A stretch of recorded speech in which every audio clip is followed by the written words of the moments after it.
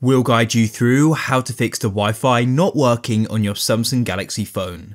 And this is going to cover a wide range of different problems from it just not connecting or it just not working. So first of all, let's just go to our Wi-Fi settings like so. So first of all, do just make sure that if you have managed to connect to the network and it isn't working, that it isn't just a problem with the entire network. So try the network from another device because it may be a problem with the network instead of your actual phone.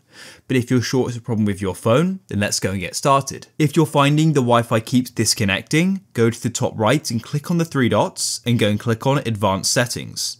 And what you want to do is go and click on Wi-Fi on and off history, and you can see apps that are able to go and turn it on and off, because that may be the problem. If that didn't solve your problem though, then what you want to do is turn off your Wi-Fi, and then you can go and drag down from the top of your phone, and drag down again.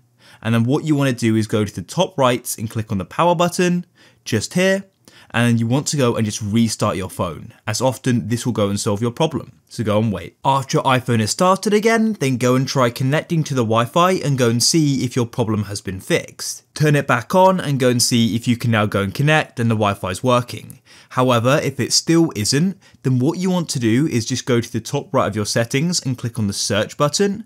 And what you want to do is type in reset and then you can go and search for it and then you can click on reset at the bottom and then what you want to do is go and click on reset Wi-Fi and Bluetooth settings. This is just go and reset everything and hopefully solve the problem. As you can see, they've now been reset and now that you've done that, try joining the Wi-Fi and hopefully your problem will now have been fixed. If you found this useful, then please leave a like.